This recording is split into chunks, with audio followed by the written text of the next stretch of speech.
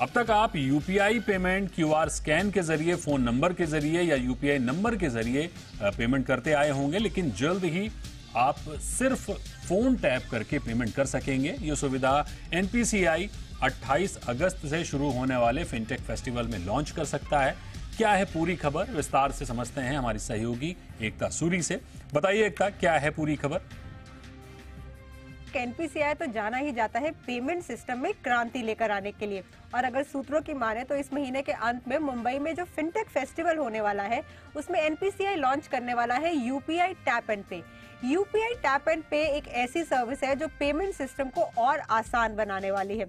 अब अभी हम क्या करते हैं कि अगर यूपीआई से हमको पेमेंट करनी है तो या तो हम फ़ोन नंबर डालते हैं, यूपीआई आईडी डालते हैं, या फिर क्यूआर कोड स्कैन करते हैं।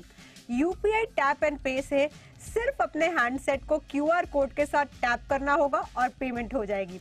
इसमें दरअसल नियर फ़ील्ड कम्युनिकेशन टेक्नोलॉजी का इस्तेमाल होगा। जो क्यूआर कोड होगा वो नियर फ़ील्ड एनएफसी जो है, उससे एनेबल्ड होगा। जो डिवाइसेस है हैंडसेट है, वो भी एनएफसी के लिए सक्षम अगर होंगे तो ही ये सर्विस यूज़ कर पाएँगे। जब फ़ोन टैप होगा तो एनएफसी के ज़रिए रिसीवर का यूपीआई आईडी जो है वो रिसीव कर लिया जाएगा ताकि उससे पेमेंट हो।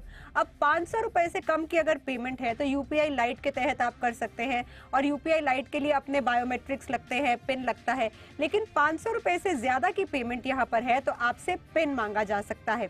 अब ये जो सर्विस है, हम महीने के अंत में लॉन्च होते हुए देख सकते हैं। पूरी तरह से सिक्योर है ये सर्विस अक्सर लोग सोचते हैं कि अगर फ़ोन गुम हो गया तो गलत इस्तेमाल हो सकता है। यहाँ पर जो सेफ्टी मेजर्स है, ठीक क्रेडिट कार्ड की तरह ही है या डेबिट कार्ड की तरह है, जो अक्सर हम टैप करते हैं कॉन्टैक्टलेस पेमेंट्स के लिए। अगर किसी का फ़ोन गुम हो जाता है तो उसे यूपीआई अपनी आईडी जो है, वो ब्लॉक करनी होगी।